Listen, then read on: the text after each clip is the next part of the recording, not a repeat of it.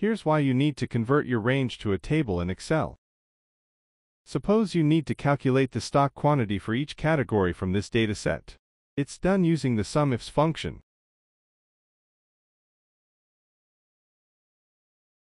What if we add or remove data to the dataset? We need to fix the formulas manually. It's not efficient. Let's format the data as table. Name the table as stock. Tables automatically format your data, making it easy to read and professional.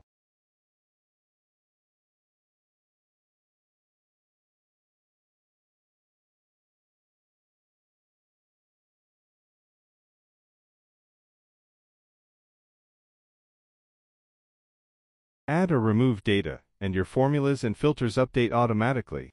No manual fixes. Subscribe for more.